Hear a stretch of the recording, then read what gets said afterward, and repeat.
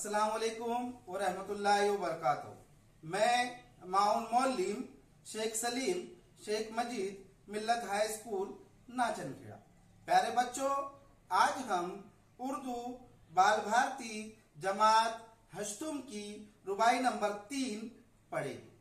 सबसे पहले रुबाई की तारीफ़। रुबाई शायरी की मशहूर सिंफ है चार मिसरों वाली नज्म को रुबाई कहते जो मखसूस, लय और आहंग में कही जाती है।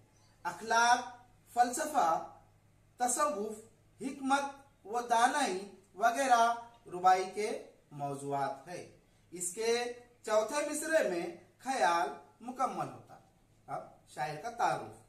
तलुक चंद महरूम अठारह में पैदा हुए। वो दर्श व तदरीस से वाबस्ता थे। बच्चों के अदब में उनका नाम अहम है।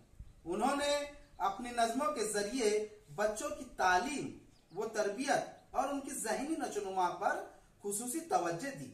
उनकी जबान आसान और सादा है।